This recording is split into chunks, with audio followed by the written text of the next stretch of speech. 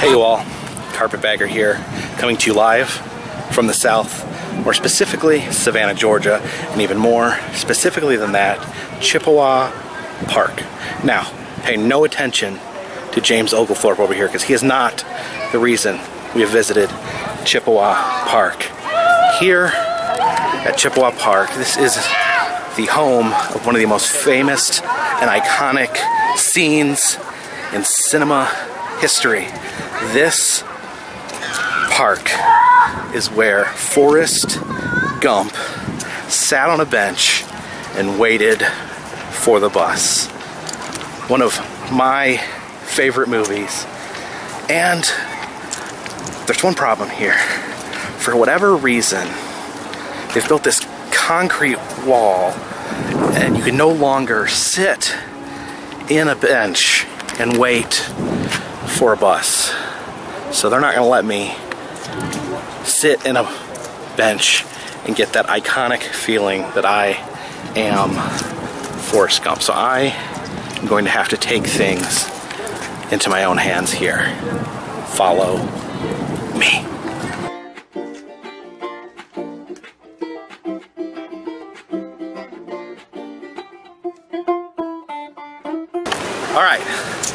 I've returned. Me and Annabelle have brought along our own benches. We are gonna go and sit and wait for the bus. All right, Anna, you ready? All right. Yes. Me and Anna are now sitting exactly where For- Forrest Gump sat, waiting for the bus as they show and he talked to different strangers and talked about his life. And what did we bring along, Annabelle? Brought chocolates. A box of chocolates. And do you know why we brought a box of chocolates, Annabelle? Because life is a box of chocolates and you never know what you're gonna get. Life is like a box of chocolates. You never know what you're gonna get. So what do we have? Uh, chocolate.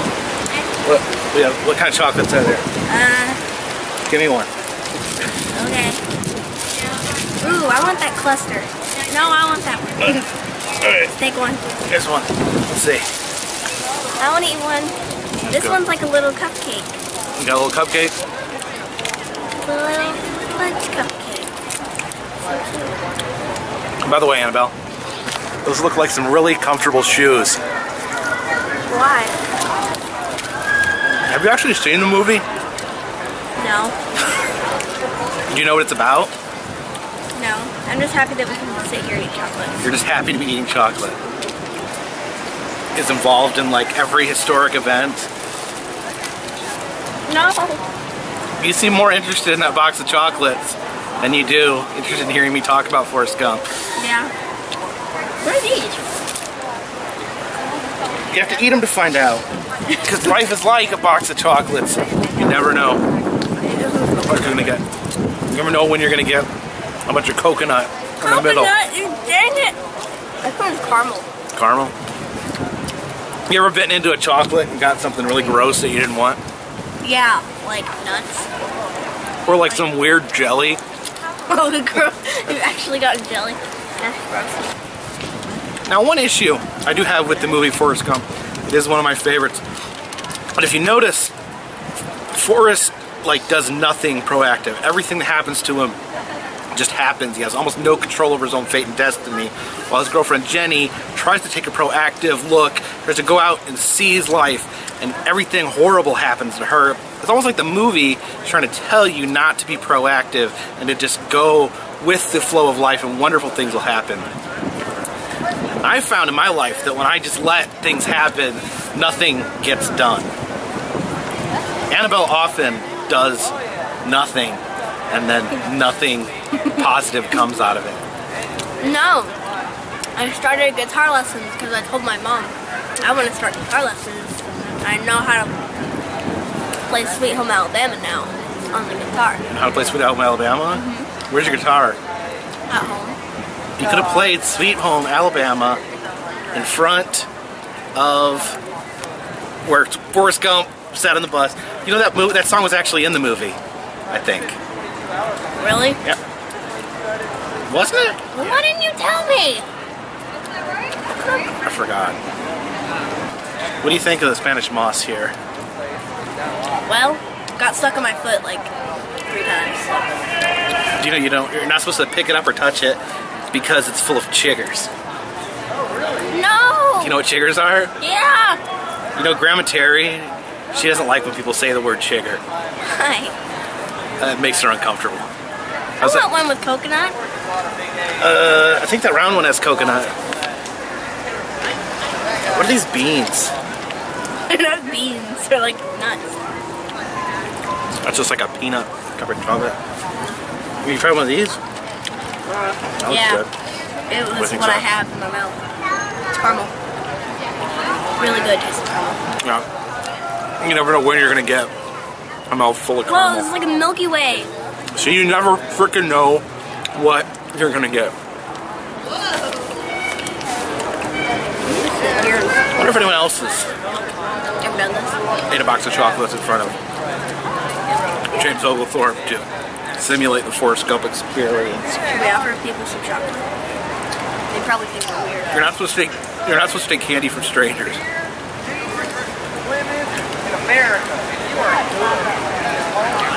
What does that do talk? You just said beer, Jesus, something in America. There's some guy in this park ranting about beer Jesus in America. Ew. This is gross. Want? Have you ever been to Bubba Gump Shrimp? Uh, yeah. That's based around the whole movie. Hey, true. What? Yeah, he owned a, sh- had a shrimp boat. Huh. That's how he. That's how he got rich. I think. Yeah, he got rich because there was a hurricane, and it destroyed all the other shrimp boats, and only he could shrimp. And he also invested. Oh, this is an almond.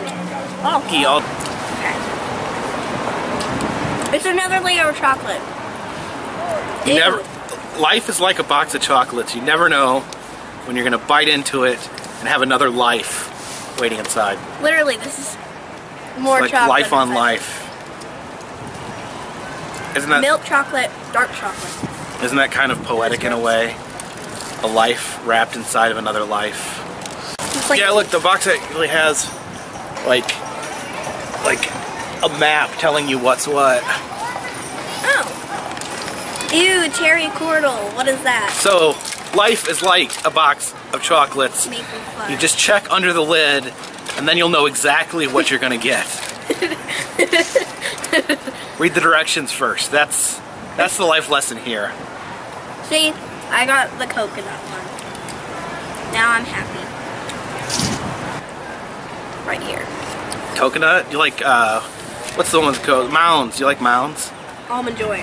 I like Almond Joy better. Mm-hmm. I like Mounds better. It's got the black chocolate. We used to stop at gas stations on the way to like um, places, and I would always get almond joy, and you would get Mounds, and also get um, cherry Fanta, And some pickled pickled sausages.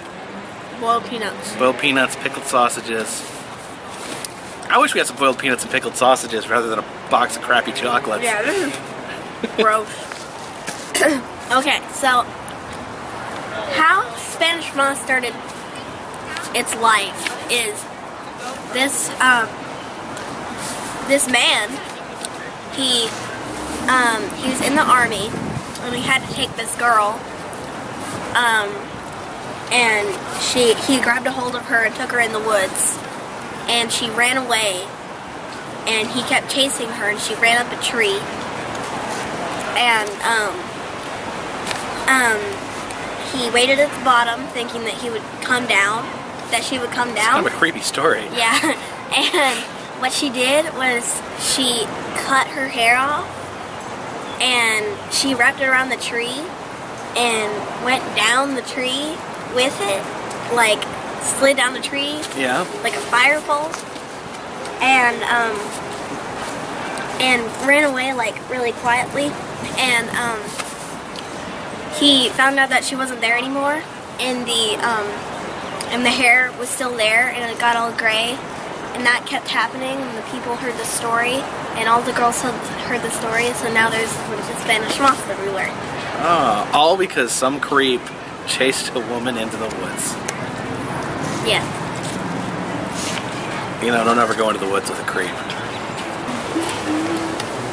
Oops, I did it again.